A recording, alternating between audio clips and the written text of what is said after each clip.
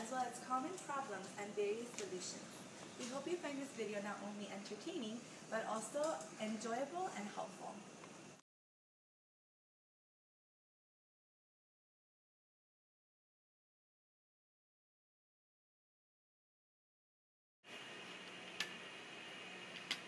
Hello, good morning. How are you?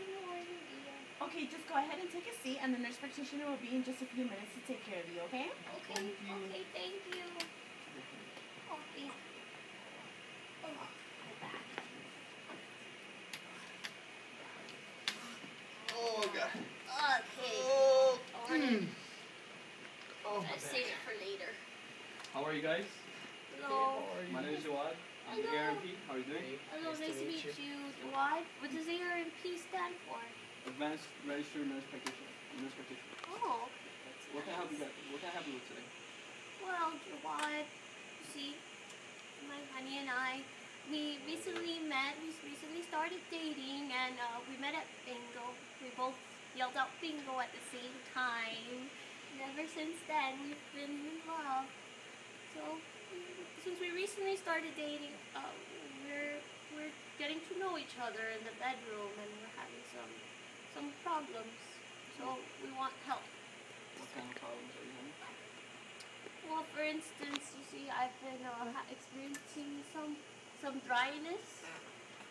You know, Yeah. Some dryness um, in that area, and also my sweetie here has been having some some problems Well, maintaining and enduring. I understand. As you age, vaginal dryness and thinning is actually normal for women. And um, as men age, erectile dysfunction can be a problem, and you need more stimulation to get to the climax. And you both might have a difficult time getting to the climax. And that's that's that's really normal. That's normal changes for that. Are you been doing? Have you been doing anything for your dryness, or have you been taking anything? Oh, actually, yes. We've been uh, we've been using Vaseline, Mhm. and that helps. That tends to help sometimes. Well, Vaseline is uh, oil based. I would recommend taking something more water soluble based like KY jelly. They have it over the counter. You can buy it in CVS and of these places. Okay. Okay. And also for vaginal dryness and thinning, they also have pills like uh, estrogen pills or estrogen rings. They have. They can help with the dryness. What about my problems, Dad? What what can I do for my problems? Well, for erectile dysfunction, they have they have pills for that. They have Cialis, Viagra, and Levitra. Those are three common pills. And uh, are you, do you have any hypertension problems? Any blood pressure problems? No, no, Any heart problems? not at all. Not, no medication, nothing. They can they can elevate or they can uh, mess with your blood pressure a little bit. So what I can do is uh, I'll prescribe you now. If you don't have any problems, I'll look at your history and I'll prescribe it to you, and you can try it out how it is. Um, you know what? I would give it a shot. Oh, Other than that, how is your relationship?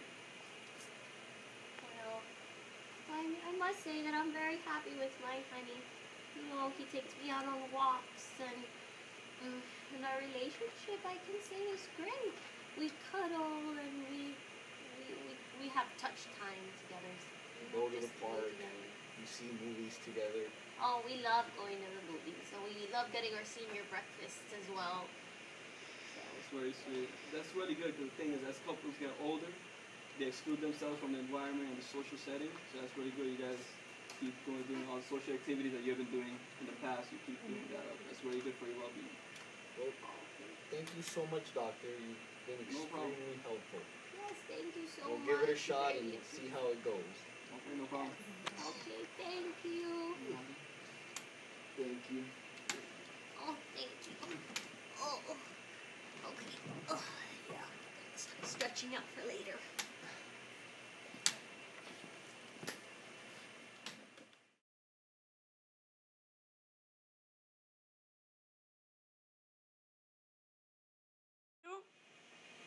Hi, how are you today? Hey, good morning. How are you? Good, how are you? My name is Christina and I'm the Advanced Registered Nurse Practitioner. How can I help you today? Well, I've been lately. I've been having a lot of pain when I urinate, and I've been feeling really, really tired. Are you having any penile discharge? I, I wasn't at the beginning, but now I am, and You it's really starting to worry me. Right. And are you currently sexually active? Yes, I am currently dating around. And um, since you are sexually active, are you using any form of protection? Meaning, But you do have to worry about contracting a sexually transmitted disease. I, I can have an infection. Yeah, actually, many people think it's for the younger population, but the older, the elderly are actually more at risk for contracting.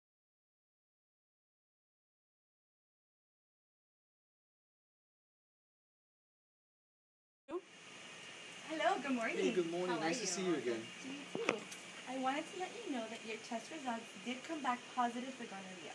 Oh my god. I thought those. I can't believe I have a disease like that. I thought it was just for younger folks. I'm, oh my god. Well, no, but you know what? The good news is that gonorrhea is a bacterial infection, so we can treat it with antibiotics. However, you are going to need to let your sexual partners know so that they can get treated as well. Okay. It, ah, I'm just so worried. I understand, but with your medications, um, everything should get back to normal quickly.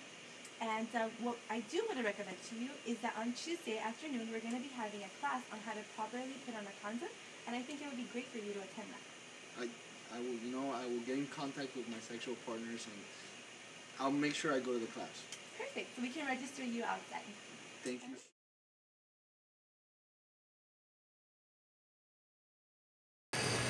Erectile dysfunction is the most prevalent sexual problem in men. Older men require more physical penile stimulation and a longer time to achieve erection. The duration of orgasm may be shorter and less intense. Female sexual dysfunction can be influenced by factors such as culture, ethnicity, emotional state, age, and previous sexual experiences, as well as age related changes in sexual response. Dyspareunia, or painful intercourse, resulting from vaginal dryness and thinning of the vaginal tissue, occurs in one third of women older than age 65. Women may experience arousal disorders, just like men, that could be a result of using certain drugs such as anticholinergics, antidepressants, and chemotherapeutic agents. Women may also experience orgasmic disorders just like men.